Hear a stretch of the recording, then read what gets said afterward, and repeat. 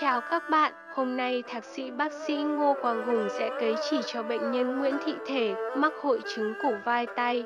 Hội chứng cổ vai cánh tay là bệnh lý xương khớp xảy ra ở vùng cột sống cổ.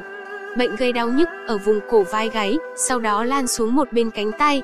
Nếu không được chẩn đoán, phát hiện sớm, có thể dẫn đến teo cơ, rối loạn thần kinh, ảnh hưởng nghiêm trọng đến sức khỏe, cuộc sống người bệnh. Hội chứng này gồm một nhóm những dấu hiệu biểu hiện lâm sàng có liên quan mật thiết đến những bệnh cột sống cổ kèm theo tình trạng dễ dây thần kinh cột sống, tủy cổ bị rối loạn chức năng.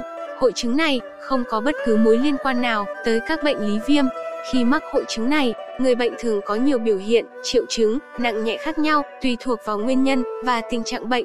Dưới đây là những biểu hiện hội chứng cổ vai cánh tay điển hình, đau nhức ở vùng cổ vai gáy, các cơn đau cổ vai gáy, âm ỉ dần dần, tăng nặng hơn, đau nhiều vào buổi sáng sớm.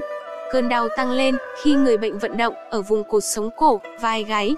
Khó khăn khi cử động, vận động cột sống cổ, trong một số trường hợp ít gặp, người bệnh bị đau đớn, vẹo cổ, đau nhức dây thần kinh. Những cơn đau khởi phát từ vị trí vai gáy, dần dần lan rộng sang vùng trầm và cả hai bên vai. Sau đó, cơn đau nhức sẽ lan tỏa xuống cánh tay, bàn tay và ngón tay, Cơn đau tăng lên khi người bệnh cúi nhìn xuống dưới, xoay đầu, nghiêng người hoặc ngửa cổ. Người bị có cảm giác tê bì như bị kim châm, kiến bò ở cánh tay, bàn tay và ngón tay, teo cơ, tay tê bì, mất cảm giác. Cơ hai tay teo dần, biểu hiện bên ngoài là cảm giác tê bì tay, mất cảm giác, cầm nắm khó khăn.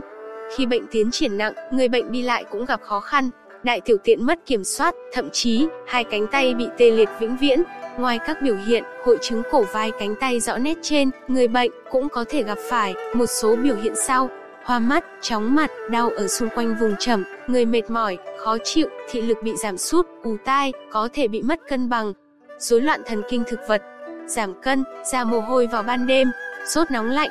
Quý vị thân mến, có rất nhiều phương pháp có thể điều trị các căn bệnh trên, trong đó, phương pháp cấy chỉ cắt hút được đánh giá là một trong những phương pháp hàng đầu bởi tính ứng dụng cao, hiệu quả điều trị lâu dài, ít gây ra biến chứng đối với người bệnh.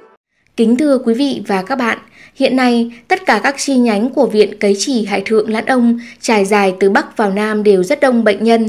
Vì vậy, quý vị hãy gọi tới số hotline 0981 377 470 để nhận được sự tư vấn hỗ trợ tốt nhất. Cảm ơn quý bệnh nhân đã tin tưởng Viện Cấy Trì Hải Thượng Lãn Ông trong bao năm qua.